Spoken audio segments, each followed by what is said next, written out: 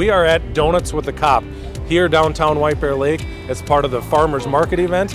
It's the first Farmers Market of the year, and every year we kick it off giving out donuts, coffee, juice, water to kids, families, anybody who's willing to come up, have good conversations with cops, and uh, enjoy a donut or two. So one of the benefits of these events is that we're able to connect with children. We're giving out stickers, we're giving out high fives, and we want children to know that they can trust the police. It's really great and special when we can bring a smile to a child's face and know that they can be more comfortable around the police. On. Community engagement is extremely important to us at the White Bear Lake Police Department. So we book a number of events throughout the year, throughout the summer, and this is just one of many, but it enables us to have great conversations, uh, hopefully build some trust with community members, and get to know our good folks here that uh, work and live and travel through White Bear Lake uh, each and every day.